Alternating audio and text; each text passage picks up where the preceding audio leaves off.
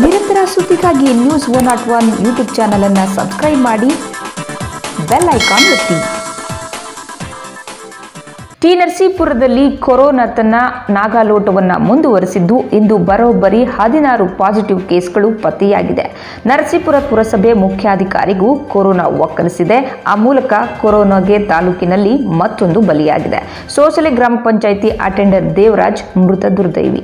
ನರಸೀಪುರ ಪಟ್ಟಣದಲ್ಲಿ ಒಟ್ಟು ಒಂಬತ್ತು ಪಾಸಿಟಿವ್ ಕೇಸ್ಗಳು ಪತ್ತೆಯಾಗಿದ್ದು, ತಾಲೂಕಿನ ಸೋಸಲೆಯಲ್ಲಿ ಎರಡು, ತಲಕಾಡಿನಲ್ಲಿ ಒಂದು, ಎಂ. ಕೆಬ್ಬೆಹುಂಡಿ ಗ್ರಾಮದಲ್ಲಿ ಒಂದು, ಬೊಮ್ಮನಹಳ್ಳಿಯಲ್ಲಿ ಒಂದು, ತುಂಬಲ ಮತ್ತು ಬನ್ನೂರು ಪಟ್ಟಣದಲ್ಲಿ ತಲಾ ಒಂದು ಕೇಸ್ ಪತ್ತೆಯಾಗಿದೆ.